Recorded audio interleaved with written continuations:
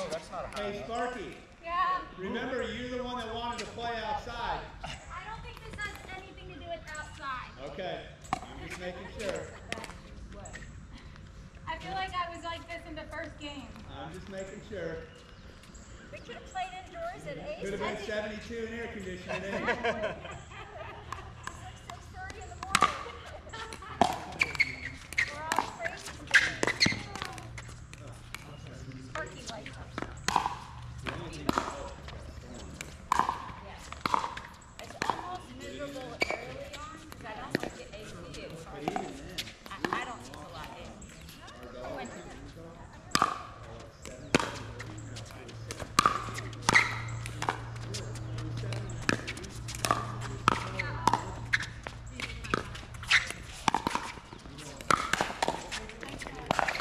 Oh, I saw an opening and I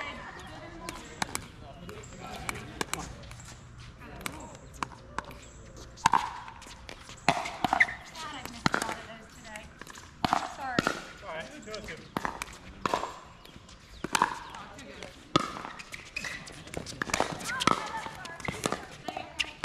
Oh, too Darn it all, Ben. Great shot.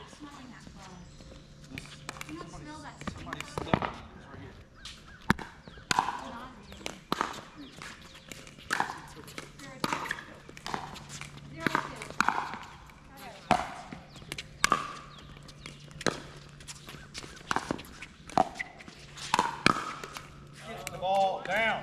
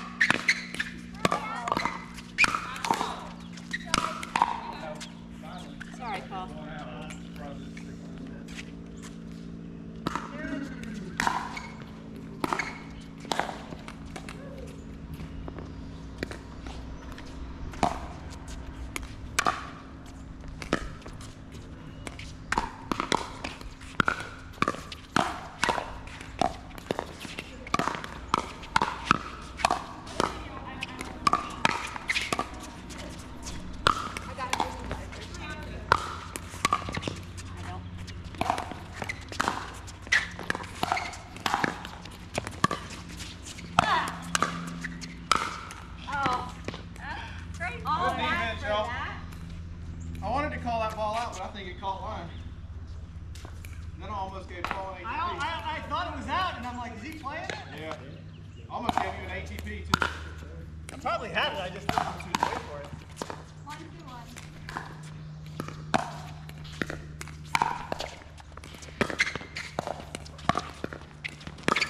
Why? Just hit the ATP, you goofball. I, you mentioned it. One, two, two. Two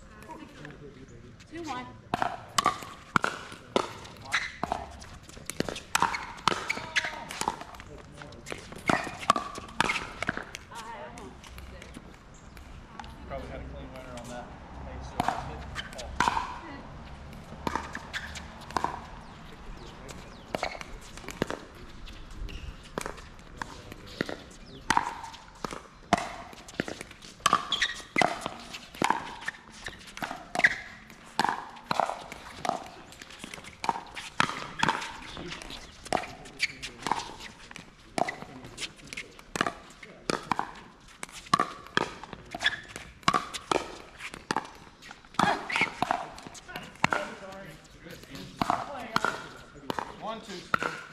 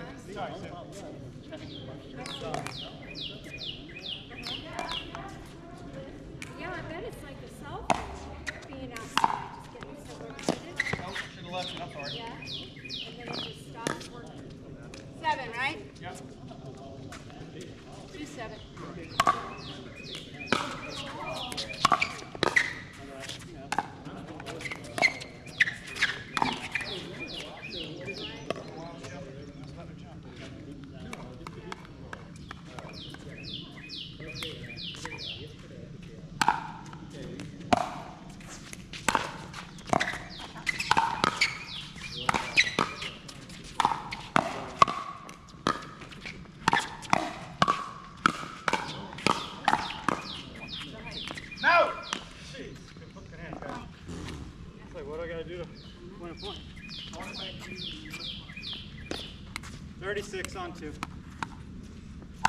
So Mike, they told me, Mike, they're going to change the lighting in real life now? I went the wrong way. 73. Yeah, no, They're going to change the uh, lighting in real life